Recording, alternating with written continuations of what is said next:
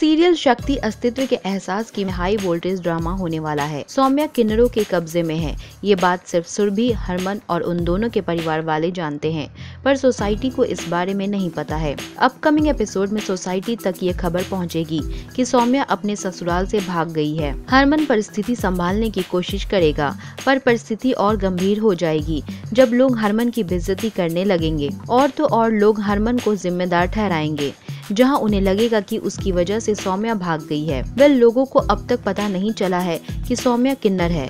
ऐसे में ये देखना इंटरेस्टिंग होगा कि हरमन इस बात को लोगों से कैसे छुपाता है। टेलीविज़न के मोर अपडेट्स के लिए देखते रहे हमारा चैनल।